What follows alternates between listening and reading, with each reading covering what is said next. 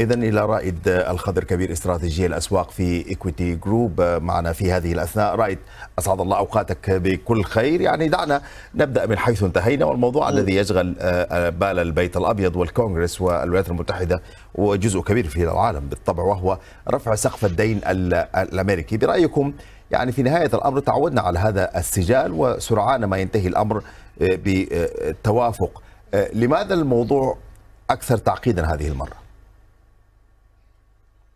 يعني هو يعني هو بنفس التعقيد أو بنفس مستوى التعقيد طيب لأنه نحن عم نتحدث عن لأول مرة تاريخيا أو لم يحدث في التاريخ. أنت خلفت الولايات المتحدة الأمريكية عن سداد ديون وبالتالي نحن على يعني موعد قريب جدا من يعني أو على في وقت قريبين جدا من هذا الموعد. نحن في مطلع شهر يونيو يعني راح يكون في عندنا التخلف عن السداد وبالتالي الخزانة الأمريكية. يعني تنضب السيولة فيها بشكل كامل.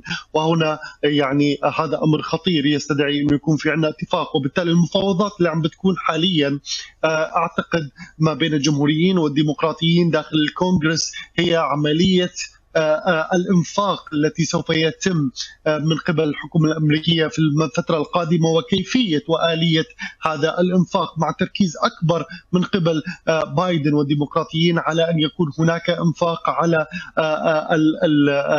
خلينا نقول حلول الطاقة البديلة وبالتالي أعتقد هذا لب النقاش الرئيسي ما بين الجمهوريين والديمقراطيين. لا أعتقد إنه راح يكون في عندنا تخلف ولكن الاتفاق أيضا سيضع الاقتصاد الأمريكي والحكومة الأمريكية أمام فترة جديدة سوف نصل فيها إلى نفس هذه المشكلة وبالتالي يتم الوصول إلى سقف الدين. تم الحديث سابقا في أكثر من مرة أنه لازم يكون هناك خلق لديناميكية جديدة لمواكبة سقف الدين الأمريكي في الفترة القادمة حتى لا يكون هذا هو السيناريو القائم في في في المرات القادمة التوسع في عملية الدين العام أعتقد يضع له حد من قبل الحكومة الأمريكية لأنه تجاوز مستويات كبيرة جدا في الآونة الأخيرة. نعم رائد. يعني إحنا هذا الأسبوع أيضا على متابعة لمحضر اجتماع الفيدرالي الأمريكي وأيضا بيانات يوم الجمعة المتعلقة بالتضخم وأيضا نفقات الاستهلاك الشخصي، برأيك اليوم هذه البيانات التي سنسمعها إلى أي مدى قد تغير أيضا من مسار الفيدرالي أم سنبقى على كما هو تسعر الأسواق بتثبيت معدلات الفائدة؟ لكن من بعد هذا التثبيت كيف هو التوجه المتوقع؟ وخاصة في ظل ما نشهده أيضا من هذه الأزمة المتعلقة بسقف الدين؟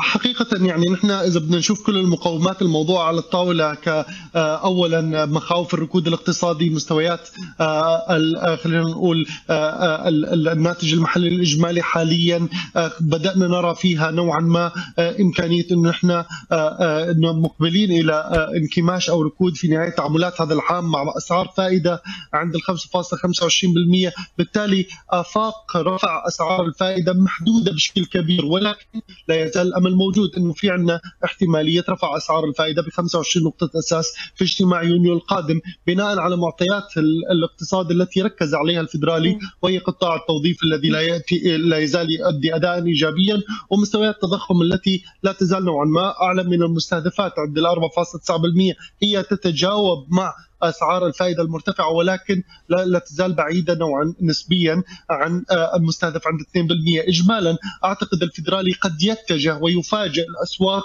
ونحن عم نشوف قوة الدولار الأمريكي الأخيرة هي عبارة عن هذا الأمل الذي لا يزال موجود بأنه في رفعه بأسعار الفائدة ب 25 نقطة أساس ومن بعدها يبدأ الحديث عن التثبيت وعدم الرفع وحتى إمكانية تقليص أسعار الفائدة. ولكن مع هذه الرفعة فلا شك بلا شك راح يكون عندنا احتمالية الكساد أو الركود كبيرة جدا مع مطلع تعاملات هذا العام. وإن تراجع التضخم نحو المستهدفات لكن الاقتصاد سيواجه يعني ركود اقتصادي وبالتالي إمكانية تقليص أسعار الفائدة في الربع الأول من العام القادم قد تكون واردة جدا. رائد حامد الخضر كبير استراتيجي الأسواق في Equiti Group شكرا جزيلا لك.